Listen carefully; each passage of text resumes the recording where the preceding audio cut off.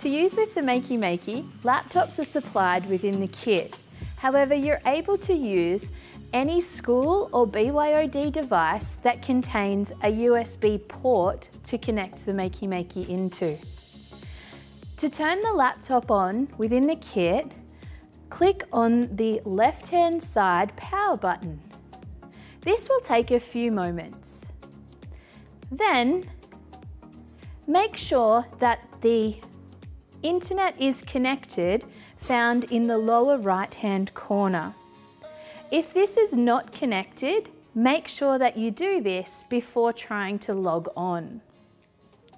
To log in, students will use their same username and password the same way they will log in to any other device within your school.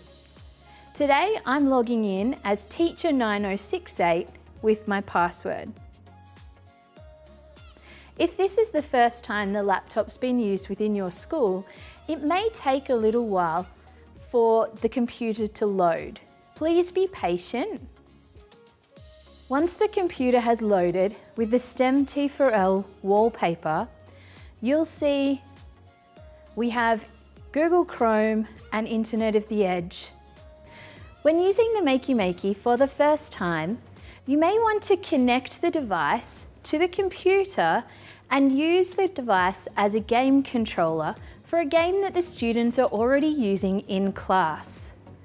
The game just needs to rely on using the arrow buttons, the spacebar and the click.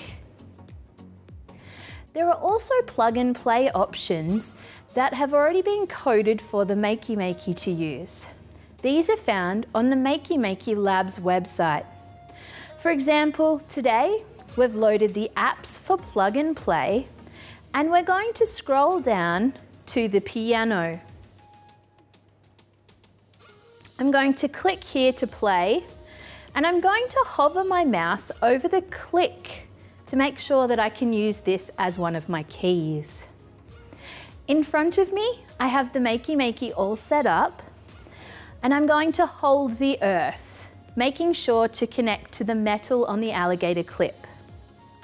This will complete our circuit. My first button is the pencil drawing I did with a 4B pencil.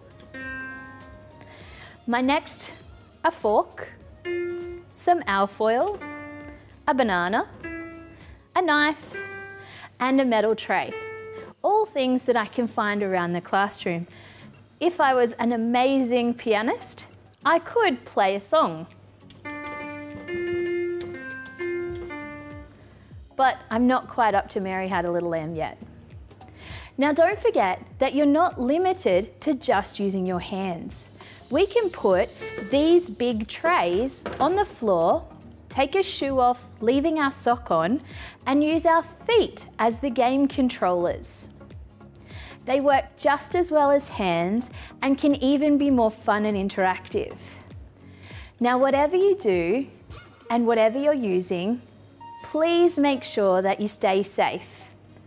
To extend the students and bring coding into our lesson, we can watch the next video utilising Tinker. This video is part of a series of support videos all about the kit that you have borrowed.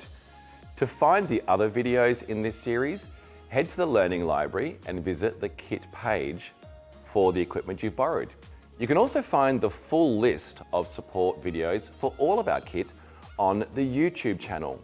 You can also join us in the Yammer community. If you have any questions or you'd like to ask teachers how they've used the equipment in their classroom, then why not join us on the STEM T4L Facebook community?